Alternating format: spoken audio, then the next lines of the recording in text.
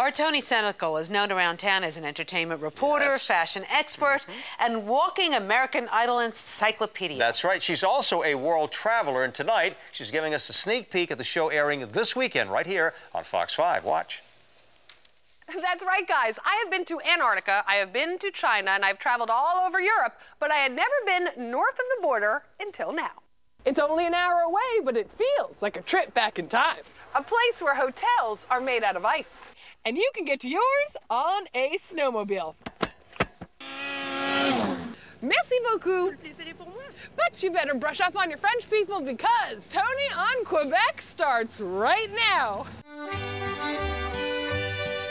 It holds the charm of yesteryear from architecture to art, with international flavors to savor. But if it's adventure you're after, have we found the place for you? You can go cross country skiing or ice skating right in the heart of the city, test your endurance with ice climbing, or set your sights on dog sledding.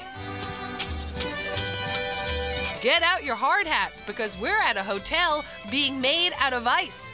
And when in the mountains, what's the fastest way to get from the airport to your hotel? Plus, a bird's eye view of Mont Tremblant mountain, getting a lift in our own private chopper. And what the heck am I doing playing the spoons? Just blame it on the caribou. Oh, yeah, and they let me loose on a dog sled. Whoa! Bad idea, people. That's next on Toni on Quebec.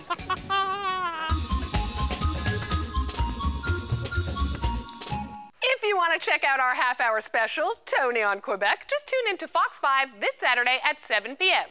Merci beaucoup. Guys, back to you. Thank you.